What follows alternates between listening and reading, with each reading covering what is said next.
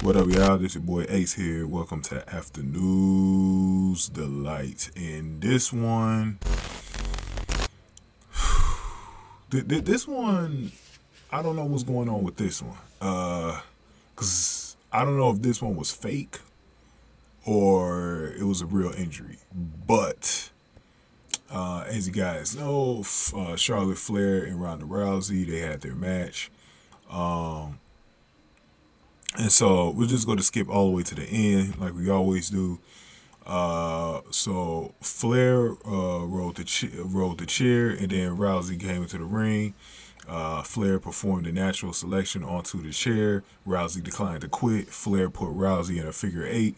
McAfee said Rousey has gone through multiple knee surgeries. Uh, Rousey said never, then grabbed the chair and hit Flair with it to break the hold. Flair got up first and put Rousey down again.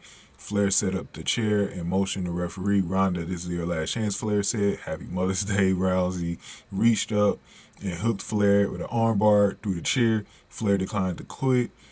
And she said, I was hoping you say that, bitch. That's what Rousey said. Uh, Rousey wrenched on the arm, and then Flair gave up tapping out. So uh, it, it was an I quit match. So uh, Charlotte uh, quit the match.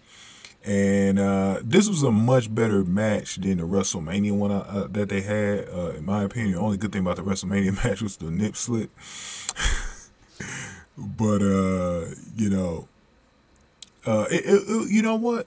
I think the weapons might have helped, you know, the match uh, look better on the surface than uh, what it probably would have been if it was a normal match. Um, but I hope now we get a chance to see both women with new feuds, uh, new opponents now after this.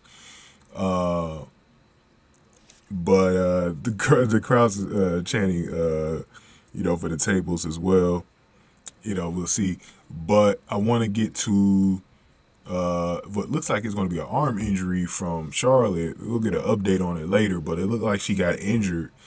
And uh, the thing that I'm trying to figure out, and a lot of people trying to figure this out too, uh, was this a real injury or was this a way to like write her off the show because she is getting married to uh, what's his name, uh, Andrade from uh, AEW.